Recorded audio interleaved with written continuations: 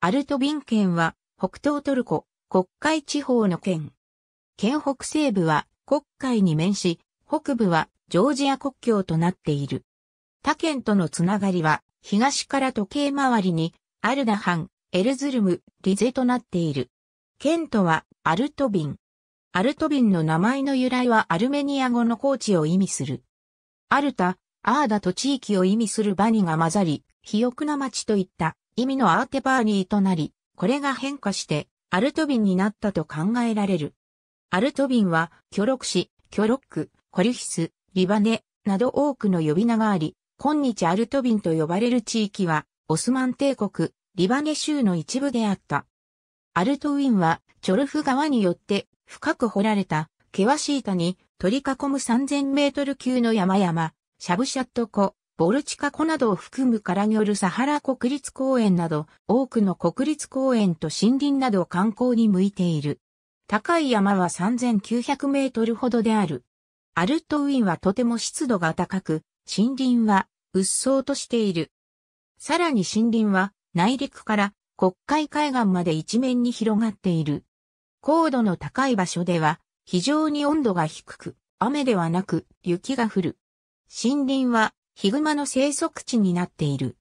ジョルフ川はデディナーダム、ボルチカダム、ムラトゥルダムなど11カ所でダムが作られており、トルコに電力を供給している。さらにこの県は、トルコのラズ人、ヘムシン族、アルメニア人たちの故郷である。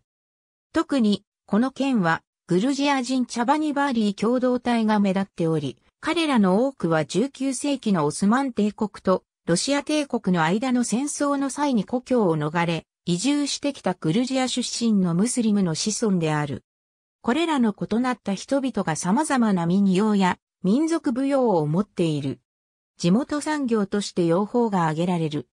この地域は歴史に富みながら、近年は考古学者によって広く研究されていない。出土品は同期時代やそれ以前まで遡る。アルトビンに最初に人が住み始めたのは、紀元前2000年からとされており、バンコ近辺を根拠地としていたウラルト王国に隣接していたと考えられている。後にこの地域はコルキスの一部となるが、何度も外敵に攻撃された。コーカサスのスキタイ、アラブのイスラム教徒などに攻撃され、853年から1023年にかけて、この地域はビサンチン帝国に支配された。セルジューク朝のアルプ・アルスラーンはこの地域を1064年に占領したが、その期間も長くなく、この地域の支配権は、ビサンチンの支援を受けたグルジア王国が回復する。しかし、その後1081年、再度トルコ系国家に支配権が移った。その後セルジューク朝の崩壊とともに、アルトビンは、米陸の一つである、イルデニズ公国の支配下に移った。この後も多くのトルコ部族の間の争いと支配が転がり、これに漁夫の利を得たペルシャのサファビー朝が1502年にこの地域を占領した。最終的にオスマン帝国のメフメト2世がギリシャ人国家のトレビゾンド帝国を破り、国会海岸の支配権を得、内陸までも支配し、後のセリム一世の遠征でこの一帯の地域と城を占拠した。1627年にはオスマン帝国の占領下で安定し、ラジスタン県となった。250年前からのロト間の戦争が始まり、第4次ロト戦争によってこの地域はロシアに割譲されたが、第5次ロト戦争でトルコ側が取り戻し、第6次ロト戦争に再度ロシアに占領された。この後、ブレストリトフスク条約、モスクワ条約、カルス条約によってトルコ領に確定した。これらの19世紀末期のロト間における一連のロト戦争はアルトビンの民族に苦痛を与え、多くの民族が戦乱を避け、あるいはロシアの支配を逃れるためといった理由からこの地を去り、西方へと移住していった。タオ・クラルジェティ王国時代に端を発するグルジア教会が、オーシャッキー、キャキアライ、イシコーニー、シャトバーディ、パークホリーなど多く残っている。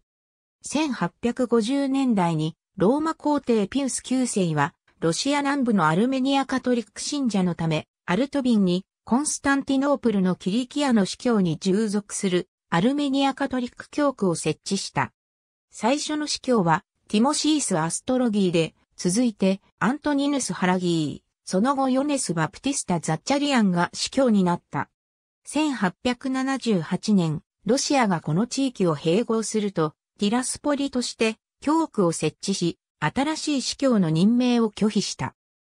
カトリック百科事典では、町の人口はアルメニア人とトゥルクが混ざっており、1894年に5900人であり、9つのカトリック教会、4つの男子学校、3つの女学校があり、管区全体では1万2000人のアルメニア人の信者がおり、25人の司教と30の教会やチャペル、22の小学校に900人近い生徒がいるとしている。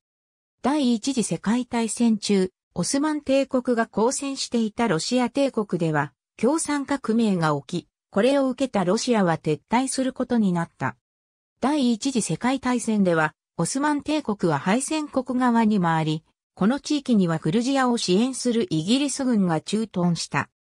この後、アルトビンはグルジアに併合されたが、1920年の国民投票では、この地域の多数派はトゥルクであったため、カルス条約によってグルジア軍はこの地域から撤退した。